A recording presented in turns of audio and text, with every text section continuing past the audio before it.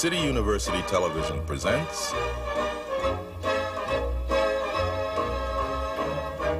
the American Theater Wing Seminars.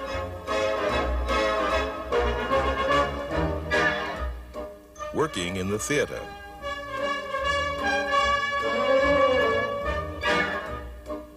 This seminar, producing.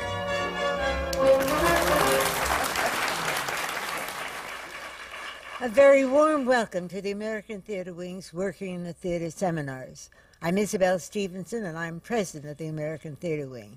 And once again, we are coming to you from the Graduate Center of the City University of New York. These seminars offer a very rare opportunity to hear discussions of the realities of working in the theater, coming from an extraordinary list of performers, producers, playwrights, directors, designers, press agents, union, and guild leaders. And since the Wing first introduced these seminars, nearly 1,000 of Broadway's and off Broadway's best have been seminar guests. The Wing is founder of the Tony Awards, which are given for distinguished achievement in the theater. We honor excellence in the theater and we help to develop new audiences, discriminating audiences. To do this, we have created an audience development program for students. The Introduction to Broadway program, which began only seven years ago, has enabled over 70,000 New York City high school students to attend a Broadway show. And frequently, they meet and question the cast. And then there's our newest program, Theater in Schools. Here, theater professionals, like those you will meet here today, go directly into the classrooms to work with and talk to students about working in the theater. What is ahead for them as they enter the world of theater? And then, of course, there's the Wing's legendary program, the hospital program, which dates back to World War II and the Stage Door Canteen. And through it, performers from Broadway, off Broadway, and the cabaret world have entertained more than 75,000 patients, nursing homes, veterans hospitals, children's wards, and AIDS centers, all in the New York area, bringing the magic of theater to those who cannot get to the theater itself. We are proud of our history, the work we do, and we are happy to have the wonderful working relationship with the theatrical community that enables us to bring people like today's producing team to you so that they can share with you what it is to work in the theater. We hope that you will enjoy and learn from today's seminar. And today it is the production of Ragtime, all the people that have made it possible. From your left, Terrence McNally, Stephen Flaherty, Garth Drabinsky, Lynn Ahrens, Frank Galati, and Jon Wilner. And then in to act as moderator is our own Ted Chapin, who is a member of the board of directors of the American Theater Wing and president of the Rodgers and Hammerstein Corporation. Thank you all for being here.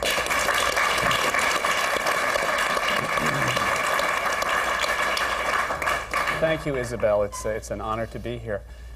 I think it's, it's surprising how many great American musicals are actually about America, because there are very few that are. Um, most of them are placed in exotic locations or about people and characters who could arguably be in any number of places. But I think there's absolutely no doubt about the fact that Ragtime is a musical about America. And I think it's not an accident that it's, a, it's based on a novel that takes place at the turn of the century, and it has now morphed into a musical at the end of the century. And uh, I think that's, that's a kind of wonderful bookended kind of situation to be in. Um, because it's such an American story, I want to ask a first question to the Canadian in the group, Garth Drabinsky, the producer, um, whose money has gone a long way to making Ragtime what it is. Um, I know that Livent, your company, uh, has been around for a number of years, and obviously one of the goals was to create new works of theater from the ground up. So my question to you is, why ragtime? Well, when the idea was first presented to me to re-examine the book, I hadn't read the book in about 20 some odd years, or certainly I, I guess it was just about 20 years.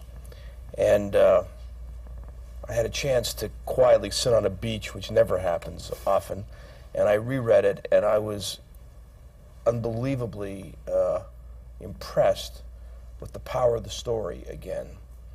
Uh, how much relevance the story has today, and what I thought were the myriad of opportunities to, to musicalize it from the very precise characters that uh, Doctorow had drawn to the events themselves to the, the metaphorical direction that. O takes us in the book, to its themes.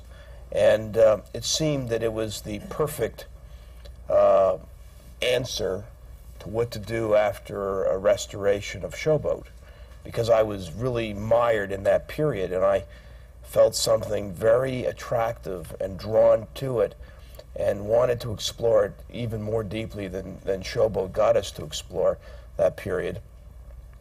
And uh, it made all the sense of the world to, to move with it. And when you met with Doctorow, um, he had, I, I, I read somewhere that he hadn't had a good experience with the movie, so that he may have been reluctant to have the conversation.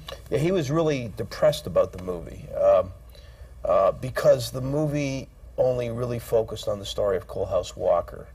Uh, what it didn't do was deal with the intertwining nature of the three stories the story of the Wasp family, the Jewish immigrant, and, and the Harlem black man, uh, Coalhouse Walker, and each of their struggles and, and journeys.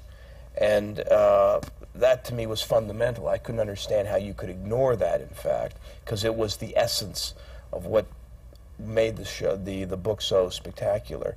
And it was my job to convince him to, uh, to have faith that it, it could see another manifestation again uh, if we brought the right constituency to the project.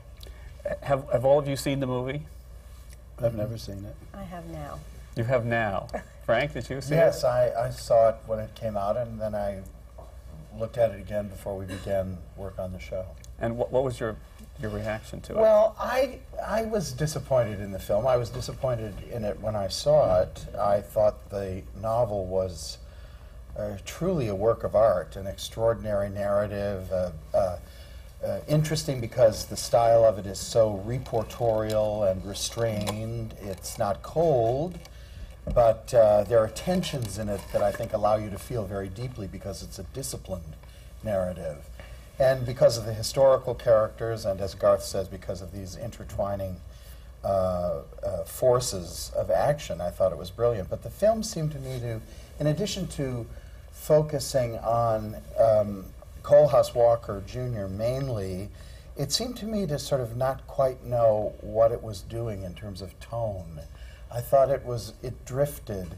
And the dialogue, I thought, in the film was very disappointing. It seemed to me, uh, you know, we actually have not talked really about the film, uh, uh, I don't think ever. Uh, but it, the dialogue seemed to me to be very flabby and um, kind of improvisational. It seemed to it seemed to be left up to the actors to um, interact with each other in dialogue. It, there, it, it wasn't terse. It didn't have energy. Uh, so it was disappointing. Well, it's interesting. I mean, I have a confession that when I first saw Ragtime and read how much everybody didn't like the film, I was surprised because I do like the film.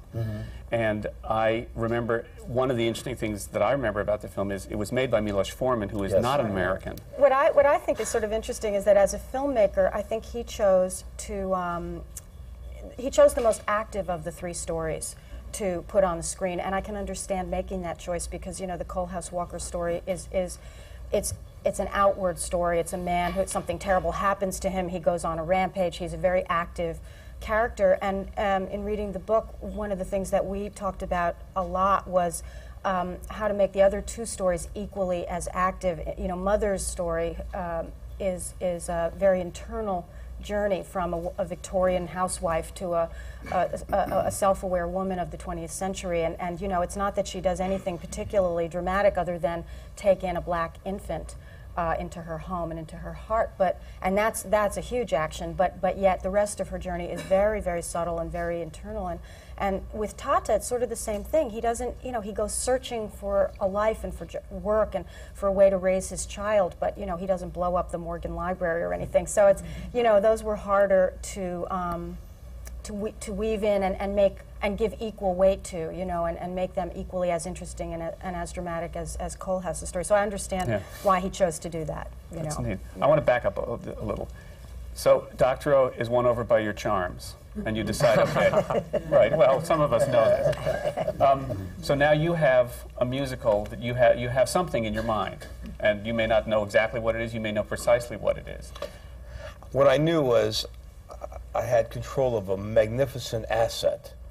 But from that point of view, to, to, to be able to find a great musical out of a wonderful story, uh, there needed to be, you know, that confluence of events happening and a merger of, of, of great talent.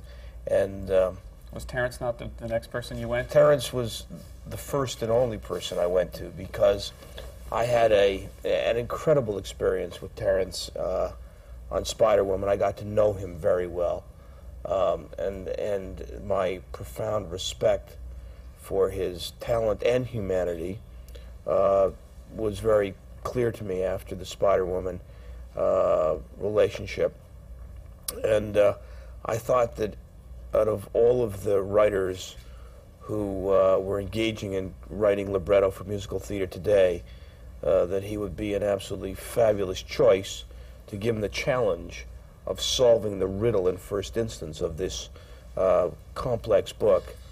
And uh, much to my thrill and excitement, um, he said, I'll, I'll, I'll rise to the challenge if I can and, and, and have a go at it.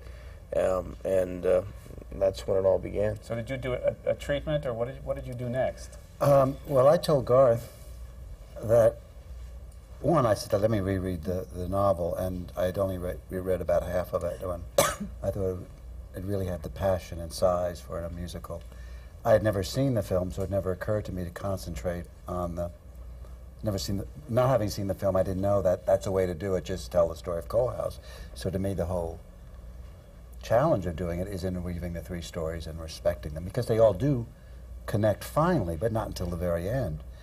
Uh, and I said I would do a treatment, um, and that if Dr. Approved of the of the treatment, the tonality of it, then I'd be happy to do it. I did not want to be adapting a novel if the novelist was going to go around saying they've changed this, they've done that, because clearly you cannot put all of Ragtime onto s- the stage.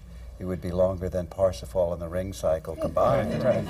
Um, so it's selecting the right material and telescoping, always respecting the spirit of the novel, which I thought was my biggest uh, assignment.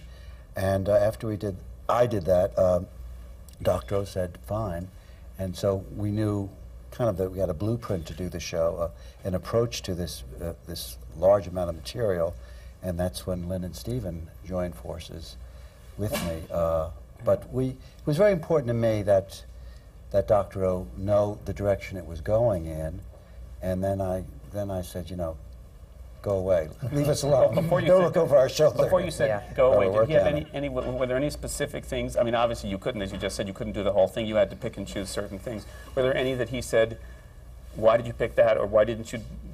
Much much later, he would say, I missed this or that. Uh, But at that point, he just liked the approach. yeah, Can I yes, sir. ask, uh, what are the mechanics? Is that normal that when you option a property that's already been published, printed as you did, must you have the approval of the playwright as you go along, of the author? Well, it's, it's, in this case, what was different than Showboat is that he was living.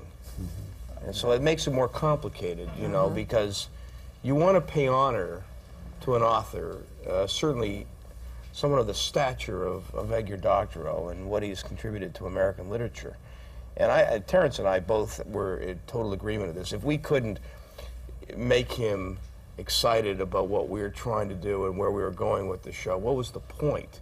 I didn't want to go through another an experience that he would feel the same way as he did about the film. That would just not be there. Life is too short to want to spend three years and trying to hurt somebody as opposed to elevate them and excite them with, with what we're trying to do. So um, he was given certain, you know, rights of cons- consultation and, and, and, and approval in the first instance, uh, uh, just because it was so relevant to him, this work. And uh, we were happy to give it to him because if there wasn't a consensus, consensus as to direction, if there wasn't a unanimity about it at any time, in any pretty serious way, then, you know, it, it just would have fallen apart. Uh, And I think that's true, and I think uh, Edgar's involvement and, and, and, and permission notwithstanding, the work itself, I mean, even if, if it was a work that came to us from a, an author no longer living, I think your instinct in, Was in- initially was to honor the work, Yes. not, not just to honor Edgar. That is a factor of his being in the, Right. among the quick. Right. But because the work itself is has integrity as a whole, Mm-hmm. and because you wanted so much to try to achieve its wholeness, even though it would have to be telescoped, Mm-hmm. I think that was the that was the secret of the first move into I- I- creating it. Ragtime, the novel, was never an excuse for writing a musical. It was the reason for it. Sure. Uh, and you, there are shows that that is not true, unfortunately, and, and some successful shows. I think you could say this musical is very successful, but it bears very little resemblance to the tonality of the novel or film or short story it was based on. Where here, I think we really worked to make it seem like a. If the novel could sing, this is how it would sing and move and dance and. That's what he did. yeah. Yeah. I want to bring the composer and lyricist into this because you did something quite extraordinary in finding a composer and lyricist for this property. Well, it's you know it really wasn't just for this property. It was the dilemma that that all producers have today, and that is finding the relationships that will take them through a generation of creating musicals for the theater. Um, and and I knew because I again I, I go back to a historical relationship I've had with Hal Prince, and I it was just yesterday I was on a plane with him. We were coming back from London after we had opened Showboat there, and and all through his career he worked with new composers. That was one of his his his landmark uh, contributions uh, were, were new composers, and and I felt that it was absolutely fundamental if we were going to make a major thrust into the producing of original musical uh, theater that that I had to establish new relationships or relationships for the first time with, with a, a group of, of men and women who were going to give me great confidence and I uh, would in turn want to encourage them to, to do hopefully great things.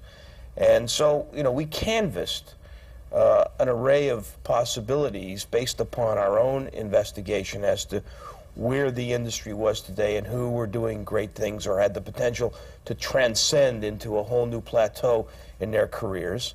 And it was on the basis of Terrence's treatment that we were able to encourage a tremendous response from uh, very talented people.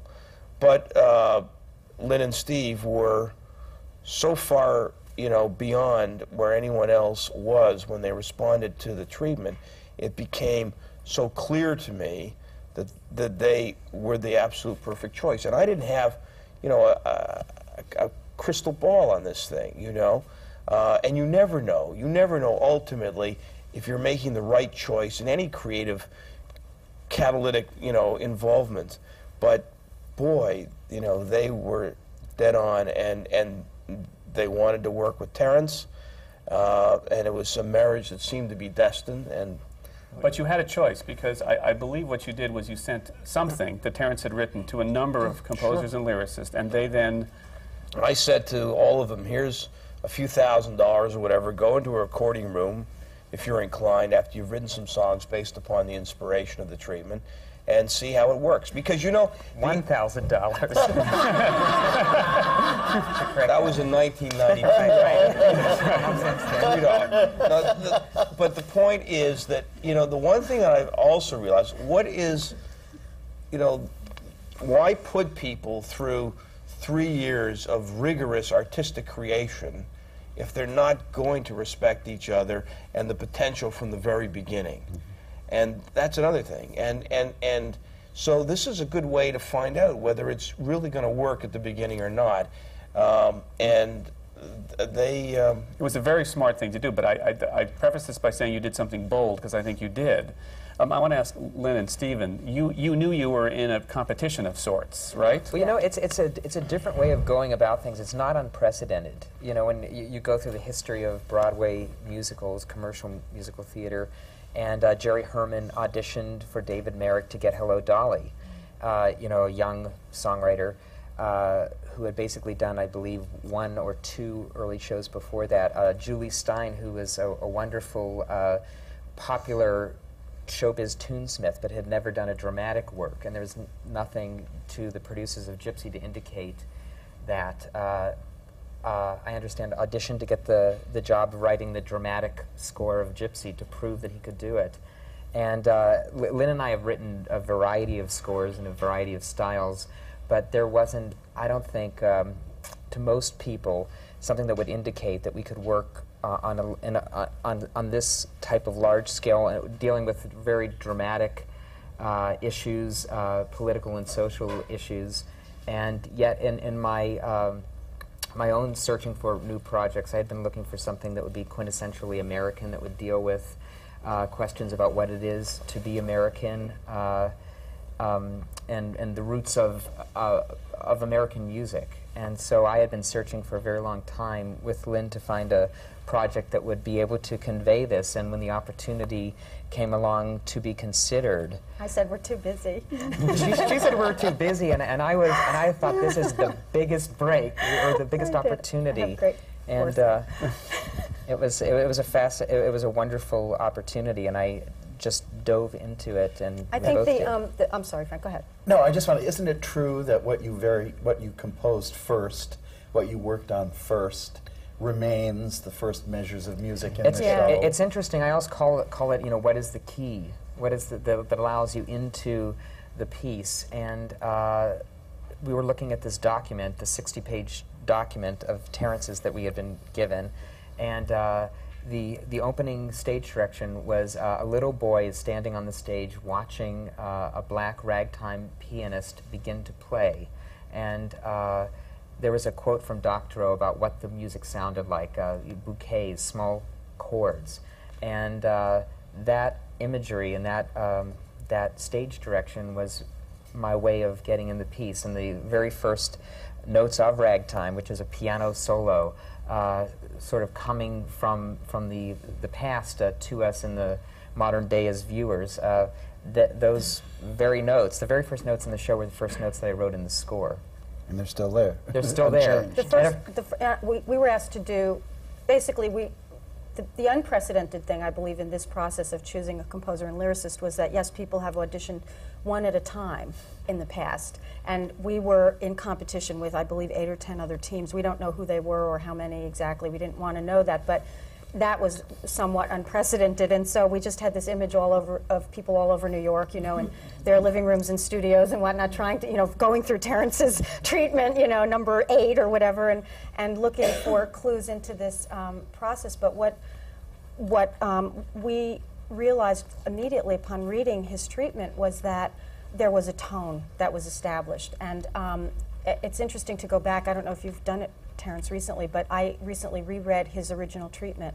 And it really kind of bears no resemblance to the show that's on the stage now, and yet it's all there in some form or another. It's really interesting. All the events are in different order, but the tone is there, and that is what inspired us, and I think why we got the job, because we, we knew immediately that we wanted to maintain, as Terrence had in the treatment, some of Doctorow's language, some of his beautiful prose, and weave that into music. So the first thing that we wrote for our audition, if you will, was um, the opening number of Ragtime, which remains uh, pretty much in its original form. I'm a great believer in audition. I'm a playwright. And every great actor I've ever worked with has been willing to audition for a role. So, number one. So everyone says, this is so unprecedented. People, friends of mine said, you're writing a treatment for a musical? I thought it was 90 pages. It was only 60. It felt like 90. I only got paid, Very a I got paid $1,000 too. I said, it makes perfect sense. Why do I want to work on this show if Garth and, and Doctor, who has some f- approval up in heaven, doesn't like it? Then, you know. Then I said to Garth, this is a great idea. I don't want to work with people who don't hear the same. I hear the music, though I can't write it. But the unprecedented thing was when I heard the scores, I don't know who'd written any of the music. I know Lynn and Steve a little bit off stage. We'd met once or twice. I had admired their first three shows enormously. If I had listened to the cassette saying, This is by Lynn and Steve, I would have wanted to like it. If you hear, say, here's a new song by Irving Berlin, and here's one by Joe Blow, you're going to tend to want to like the Irving Berlin.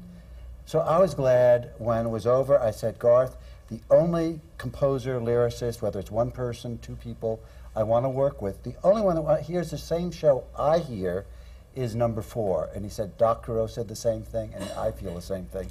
then we opened the envelope, and it was Lynn and Stephen, which made me happy that they weren't people in real life I loathed and had a you know, like my worst enemy. But I said, these people hear what I heard, and I can't articulate it in notes. But I, and that's what I was trying to. I was trying to set a trap, or not. That sounds bad. A lure, you know, a lure Set a to make them bite the right way. And it was so interesting. They chose like the hardest stuff. The opening, mm-hmm. the death of Sarah. So many other people chose little pastichy things, and like they weren't. I said these people. I said whoever wrote number three, it's very talented, but they show no commitment or passion. You know, I really went to bat. I wrote a whole treatment. The only people I'm hearing that really wrote a real song, a couple of real songs, are these, and that's why I wanted them too. And mm-hmm. so all of this is unprecedented. It shouldn't be. It's common sense. You work. Mm-hmm. Theater is collaboration, and if you're not singing from the same chart, you're going to have mm-hmm. chaos. You're going to have a 12-tone musical, which um, no one wants to hear. Vote Sec, the particularly with this pro- particularly with this with this um, material too i think because there are so many ways to go with it And it's so Uh, personal. and it's Right. so personal Because so when I read it, I thought the main character, of course, was younger brother. I say, Lynn, I- it mother. was mother, A you friend of mine who teaches the book said, "Well, who's playing father?" Was the first question. I said, "Father." Well, that's the main role. It's, and everyone sees the story Yeah. totally from their point of view, and uh, that's why it's so rich and universal.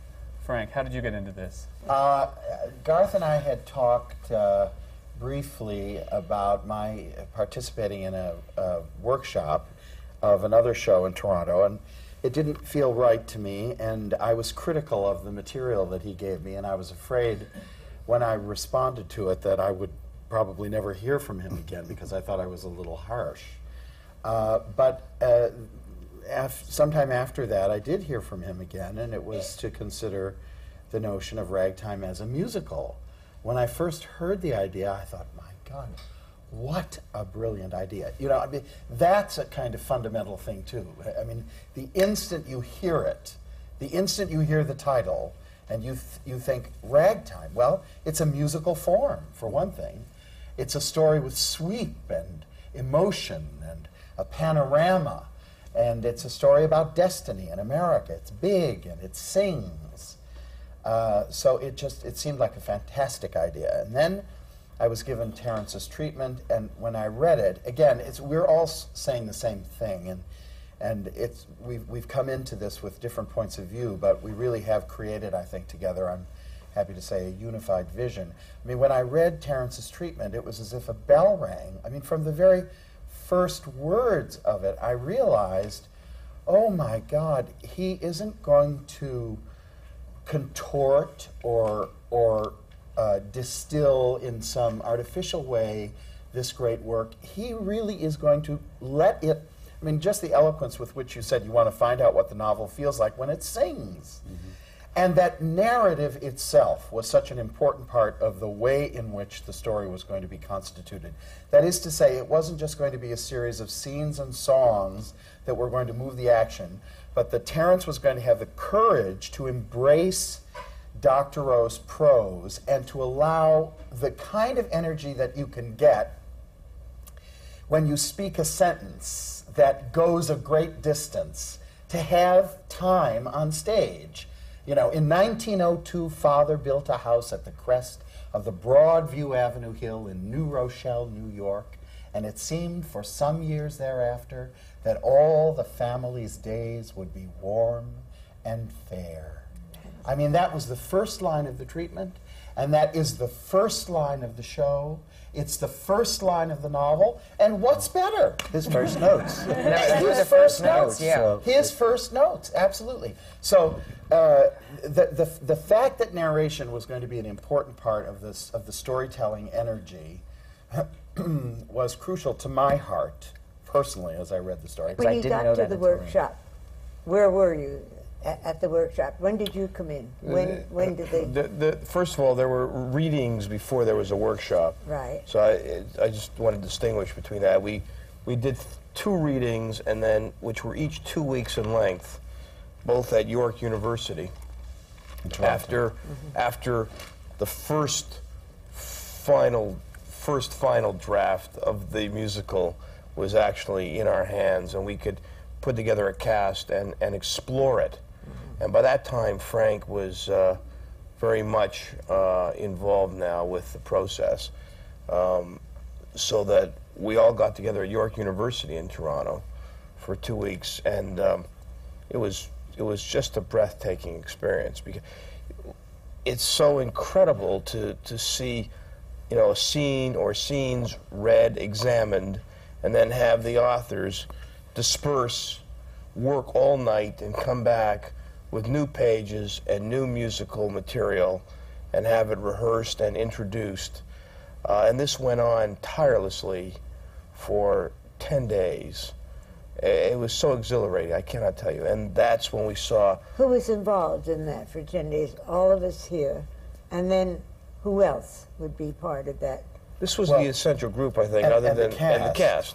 because the cast was continually available to us to interpret and very very crucial i think this aspect of it because the actors and actresses the singers and dancers and we were given by garth the time and the the forces to do this were able to commit themselves fully. I mean we weren't rehearsing we weren't getting up and walking around but they were able to you know, give us your absolute ultimate best most honest interpretation of this line and this song so we can test it at its best to see whether or not it passes the test.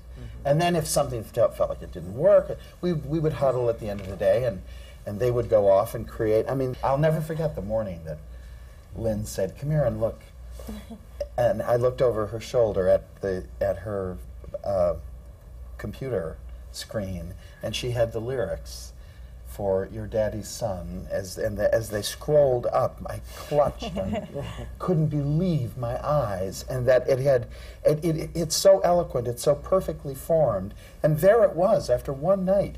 Then stephen came in and played it.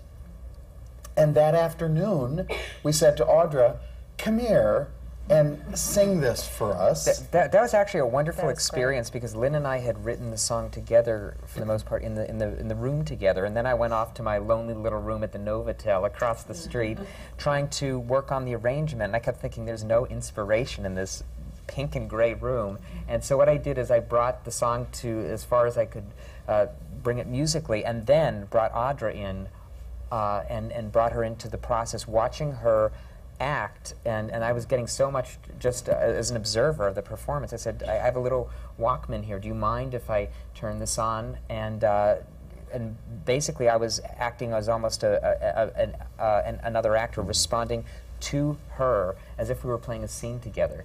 And uh, so I was sort of tailoring what the arrangement would become. And uh, then by the end of the day, we had uh, the song, which hadn't changed, really hasn't changed a note since then. No, and she sang it for Garth. We asked Garth to come in. And, uh, well, you know, it was one of those once in a lifetime experiences. For me, I felt so privileged to just be at the threshold of the room where this was happening. It was a miracle, I thought. All right, now we have to move on. Where does the selling come in? What, what do you I have a the- general the, manager? the exact moment of Then- when I the, I was doing is uh, the precisely the moment I had first heard of Ragtime, and I was doing. It was the first 24 hours after the opening of Showboat in New York, and we were doing the quote ads, and I was I ran over. It was exactly 24 hours later. I ran over to Garth's hotel, over to the Four Seasons Hotel to take him the quote ads, and we were exhausted, and we were moving the quotes around, and all of a sudden Garth said, "Stop and listen," and he put the tape on, and I, I just, I had no words, and I left there, and I was soaring, and it was the first time I had heard in years a new musical, and it was it was a thrilling moment. Did you know how many music, how many workshops you wanted, or did you follow your Didn't matter. instinct? Didn't matter.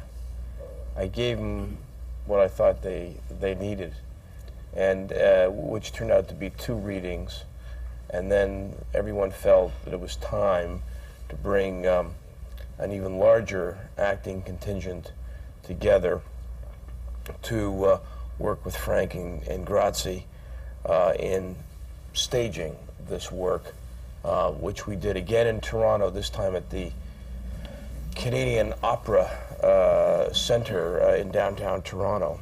And I think we had uh, six or seven weeks. And whatever I was describing in terms of what was going on during the readings was even more fervent and, and uh, exciting during the workshop stage. And, and once again, the, the, the- the work kept leaping ahead. And, and I knew, we all knew, that by the time we saw three or four performances of this work before an invited audience of some two or three hundred people um, each night, that the emotional connection was being made, that the storytelling was so coherent, that the uh, that the characterization was being fully uh, uh, set out before us, and that um, very little had to be done to, to give us the confidence to, to mount a first class musical. In the business of show business, you said before, as many as they needed, you would give them. Why are you able to give them that much more, have the luxury of giving them that many more workshops, that many more readings, that many more my, my priorities are quite simply that it's cheaper and clearly much more, I think, appropriate to, to eliminate the pressure from artists in the nurturing What of about work. cost, though? Well, but the cost, but it's it's it's it's infinitesimal compared to what the costs are of having a show fully mounted in some theatrical state somewhere outside of New York City, even with 30 or 25 orchestra members, 60 or 70 backstage people, uh, a whole support s- system of, of, of designers and assistant designers and so forth, as somebody is arguing the merits of a particular moment of dialogue or, or a musical moment that may go on for days. That's at its simplest form, and certainly much more complex if there's bigger problems that are apparent. I would rather either stop the work's creation at the workshop stage or reading stage if I see that we can't resolve issues rather than than going forward and, and putting ourselves through financial and emotional agony in no particular order. I, I also think, I'm sorry, in the creation of uh, the show, I, I think to to allow yourself to be the most flexible that you can, you know, because we discovered the show through a series of two readings and through the workshop, and but um, for for these uh, two readings in the workshop, uh, it was done with a group of actors and just a double piano arrangement. So by being that flexible, that really allowed, I think, uh, the, the, th- the three writers to really make bold choices. So in other words, you could see something on a Tuesday, and then if you would get uh, an idea Tuesday night that would be absolutely uh, the opposite way to go, but a very exciting way that you would want to see. That way, we could write uh, the very we could write it that night or the next morning and see it uh, up in front of an audience the very next day. And we did uh, we did a lot of that. Where if you're in production with a 30-piece orchestra, costumes, it would take you maybe two weeks to put in the same sort of Obviously, change. it, it's very logical, as, as you Mm-hmm. described it. But the other thing I just want to add is that it was also true that Lynn and Stephen and Terrence were fascinated and turned on, as we, we all were, by each other's areas of focus. And I'll, I'll never forget the first time that we looked at the model of the set together. Hmm. And we kind of talked through and looked at it and played with it and showed the little things that it could do. And I remember once in the rehearsal room in Toronto, there was a shaft of sunlight one afternoon coming in from the window, and it happened to be falling down onto the little paper model. And Lynn and I walked over and looked at it, and there were times when I think some of the things in the in the writing and in the creation of musical ideas would be a result of sensing what that physical What space could could do. feel That's like right. what it could do.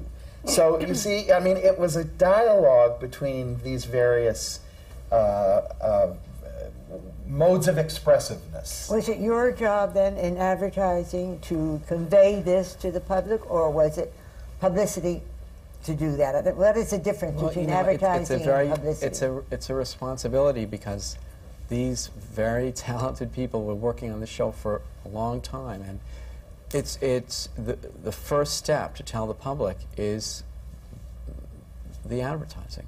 Uh-huh. So it's, it's, a, it's a responsibility. Did you responsibility. create that? Actually, the, the great thing about working on a Garth Drabinsky project is that it's a collaboration. And it's a collaboration of, of two very talented agencies in Canada plus our agency in New York. And it's a one team, and along with, with the, the entire company. Um, I don't think that anything is, is one item. It's all, for, it- it's, it- it's all how it works together. early on, uh, even prior to the staging of the workshop in Toronto, as I dealt with the creative problems, I had to deal with the marketing problems. And uh, what we did was, obviously, every one of these readings, we had our agencies at these readings. So they began to feel and understand the work early on because they've got to be in that same time link with you or it all falls apart. Um, and uh, I, I, you know, we, we, we went into huge briefing exercises. Um, and my job is to inspire an advertising agency, or in this case, three of them, to bring me ideas, throw tons of ideas at me as to how to solve the problem of getting to the marketplace on a show. But he's saying also it's an evolving process.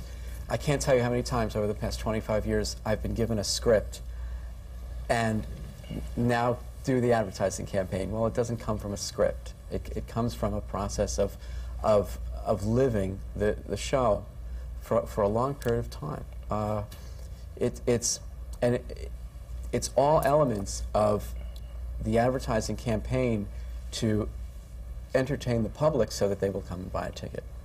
Uh, they've done their job. Now it's it's our turn to to tell the public, and it's it's a combination of television and radio and uh, newspaper ads and and outdoor.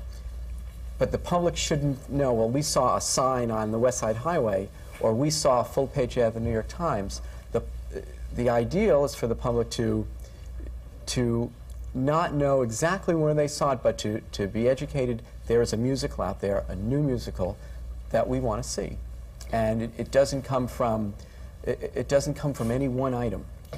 F- fundamental to, to all of this was again after the workshop. I made a decision very early on that as soon as the workshop was completed, that I wanted a cast album out of this show uh, before it had had been mounted as a first class musical. Now that's been done several times over the years. Lloyd Webber did it with Evita. He did it with Jesus Christ Superstar, called a concept album, if you will, back in those days. Um, and the relationship I had with BMG, fortunately, uh, was supportive enough and encouraging enough to, to support this process. And, and also that by bringing Bill Brohn, who's a, a wonderfully talented orchestrator who had uh, just done Showboat uh, for Garth, by bringing him in at that point, I was able to further um, my process. You know, because you know, how did the world of the Lower East Side sound versus the the world of Harlem versus the New Rochelle world? All these different types of music that we're going to live and combine and connect and bounce off one another. Where was the cast album sent to? Radio, television, what? Is it No, the it, it was modern day was- version of the song plugger? or No, no, it was distributed by, by RCA. It came out coincident, actually in October of, of 96 before the show opened in Toronto in December. But the orchestral tracks as well as some of the vocal tracks, became absolutely fundamental in terms of what John and our two Canadian agencies were, were, were dealing with uh, in the, for the purposes of creating the advertising materials for the show. So it was a double purpose for us. I wanted the potential audience to feel the way I felt when I went to that reading.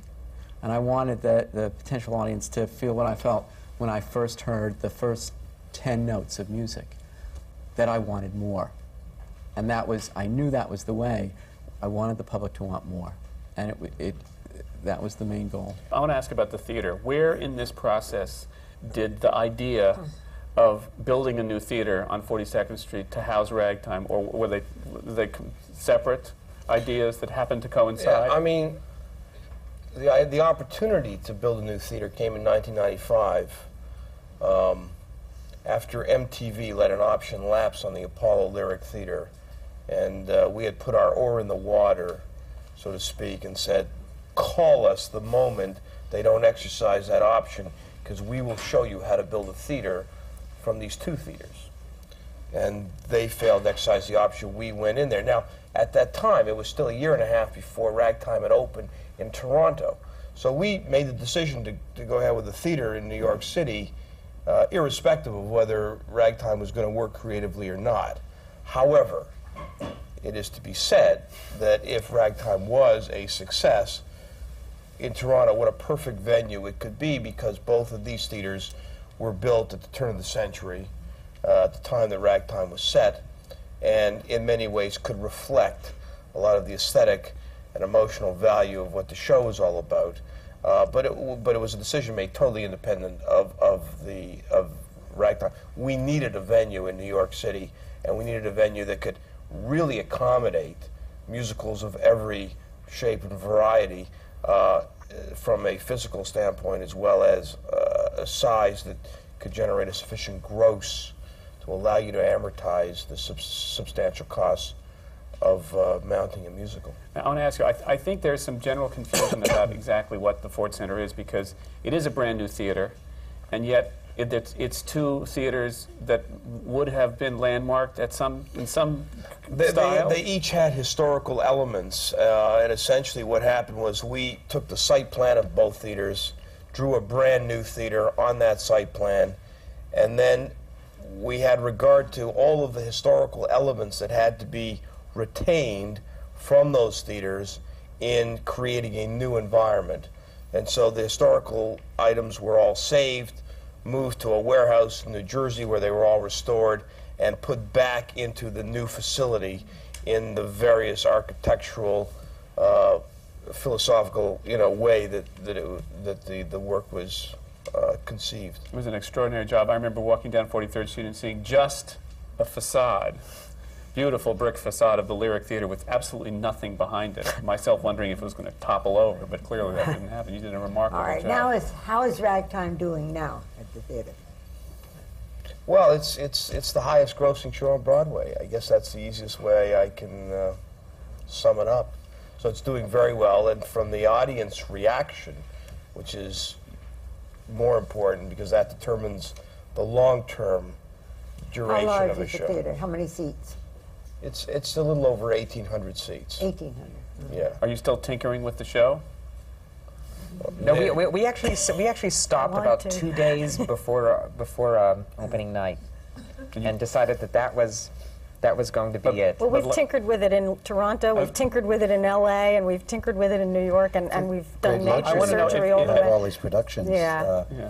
Because you can just little stuff that Yeah. Yeah. doesn't make a huge difference, but it does to It the tightens writers and, yeah, and, and Well, just better. but- and and- it's a luxury. Uh, It- it- so and- and- shows used to go out of town. I'm sorry, Steve. Uh, no, no, we were, we were actually, it was more than just like little tinkering things. I mean, we were, we were actually adding new songs, new sequences. At one point, we had one version of Ragtime running uh, at the Ford Center in Toronto, and a totally different, well, I shouldn't say a totally different, but substantially different version running uh, at the Shubert Theater in Los Angeles. And, you know, uh, by the time we got to New York, there were other changes. Are there any lyric ideas from Doctorow? Are there any? oh, it's, sure, I mean, all I through. mean, some, some of those those Sure, lyrics that we see on billboards and stuff. Are any of those all yours, or any of those Oh. come from? I think those are all mine, but I don't know. You know, I, I sort of lost track at a certain point. There was there's, there's one moment in the show that I, I actually couldn't remember whether I had written or he had written, and I um, went back to the book and I found the specific scene, and it's right after Mother has found the baby, and she hears the um, Italian icemen coming and the gardeners coming up the hill, the maids, and and she and it doesn't say how she feels or what she was thinking, and I realized that I had filled that blank in, you know. But it, in a ra- I, I'm rather proud of it. But I, but it was my sort of interpreting what she thought at that moment. You know, I never stopped to think they might have lives beyond our lives, and he doesn't go that far. So, you know, it's it's I have to always go back to the nitty gritty. How much merchandising? How much publicity?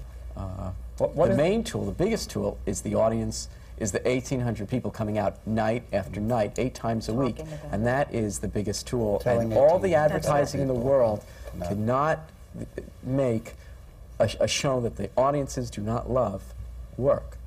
It's the audiences. And advertising can make, a, a- a wonderful advertising campaign can make a show that's doing well sell out. Make a show running three years, run five years. But it's the audiences that, that there every night that make that show work. Well, I'll tell you one of the most emotional uh, experiences we've had uh, that we never could really fully appreciate a year and a half ago uh, happened on Sunday night in Washington, D.C., when uh, our, the third company of Ragtime opened actually last night, but one could say that it opened on Sunday night because uh, we were blessed to be able to perform the, in, the production in front of the president and first lady and the vice president and uh, half the Congress and cabinet in the in the U.S. I guess uh, and and a lot of other very special people. Um, and it was interesting because in Los Angeles, um, uh, when the review came out, which was wonderful in the L.A. Times, uh, Laurie Winer, the critic there, quoted uh, President Clinton's inaugural address from 1996, which made a major statement on race relations, and that's when the whole race relations policy of this particular administration began to, to really gear up in a, in a powerful way. And, um, and we always talked amongst ourselves, man, wouldn't it be wonderful if we could really finally get the president to see this show because in so many ways it demonstrably depicts uh, the predicament of America today and, and what it says for the next century going forward, or what it can say. And, um, and to see him so moved by the experience and then join us on stage on, on Sunday and talk to that audience after they had seen the show and what he said about the experience of seeing that show. and who knew, you know, when when we were beginning to develop the show, though we had an inkling that the sort of millennial consciousness was going to become more and more in the atmosphere as we were getting mm-hmm. to, to the opening, we felt, gee, it, you know, this this could be really interesting. It's just the turn of the century again, and you know, a few years ago, like we, but now now we realize that this was an uncanny narrative to be telling at this mm-hmm. moment in our What are you planning on next? Well, we're doing a lot of stuff. That's what it's about. Uh, we have various works in uh, development, and uh, we're doing a, do a, a restoration of Pal Joey, um, uh, which is going to be read in f- for the first time this summer, and um, uh, we're mounting a new musical based on the choreographic work of Bob Fosse uh, this summer uh, and it will be in, in its full glory, hopefully in July. And a new musical at Lincoln Center this fall with uh, with Hal Prince directing and Alfred Uhry writing the book, and uh, a young, wonderful uh, composer named of Jason Robert Brown doing the music, and uh, that'll keep us active for at least the next six or nine months, anyway. Yes, and, and wh- when, I'll betray my confidence, but when, when the, the New York Times did report Pal Joey with Terrence and Frank, so I, I, I'll report that since I read the New York Times. But don't, don't believe everything they You, say. oh, no, not at all, not at all, but th- that was that. reported, so it's public record, I believe you can say that. But I, I do want to say again, and I, and I think, I, I hope and I know that everyone here feels the same way.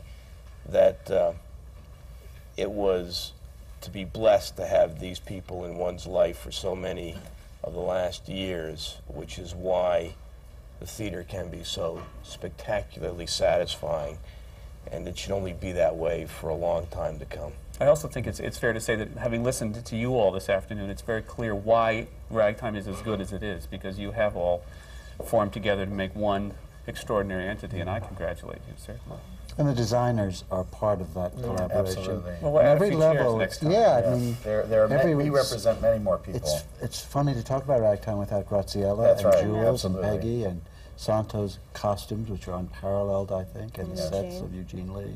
yes. It And was in a- the it theater. was That's a- what's so great. Who you can't say who did any moment in ragtime. Right. That's and we're right. not even Right. talking about the we haven't talked about the actors except Right. for Audra. Right. I mean, what Marin brings to that role, Brian Stokes, uh, Peter Free. I'm just where do you begin? The- That's why these panels always seem only telling a f that much of the story. Yes. These are the American Theatre Wing seminars that are coming to you from the Graduate Center of the City University of New York. And it's the American Theatre Wing that brings you these seminars. And I don't know when we've had one that was so full of, of information and the joy of collaboration and the joy of talented people loving and respecting each other and caring so much about the product that they brought forth. And that product is Ragtime, a marvelous show that is making Broadway and 42nd Street one of the most exciting places to be. And thank you so much, the whole producing and creative team of Ragtime, for being with us at the American Theatre Wing seminar and working in the theater. Thank you so much.